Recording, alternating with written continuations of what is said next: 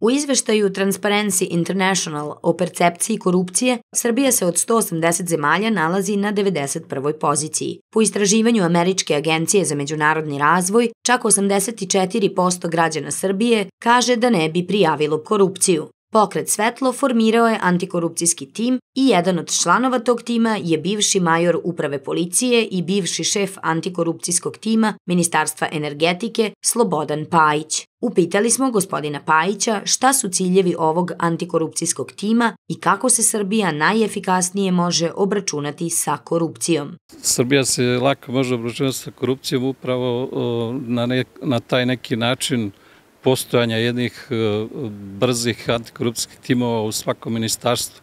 I e, cilj tog rada jeste da se otvore ljudi unutar sistema koji bi prijavili određene zloupotrebe i krivično dela tom antikorupcijskog timu koji bi na neki brz način u saradnji sa tužilaštvom sve to procesuirao, normalno i u saradnji sa policijom i drugim državnim organima.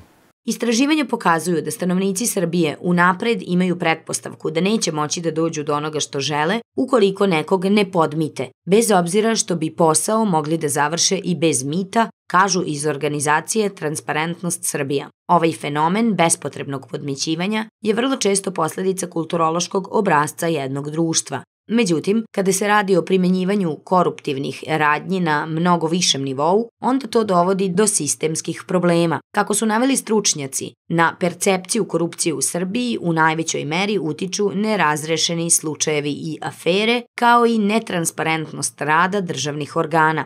Slobodan Pajić, bivši šef antikorupcijskog tima Ministarstva energetike i bivši major uprave policije, rekao je da bi Srbija mogla da se obračuna sa korupcijom kada bi postojala dobra saradnja između antikorupcijskih timova i tužilaštva i policije. On je dodao da ukoliko bi tužilaštvo i policija brzo reagovali na osnovu informacija antikorupcijskih timova, efikasnost obračunavanja sa korupcijom bi bila mnogo veća. Prema njegovim rečima, ključno je i podstaknuti ljude da prijave korupciju.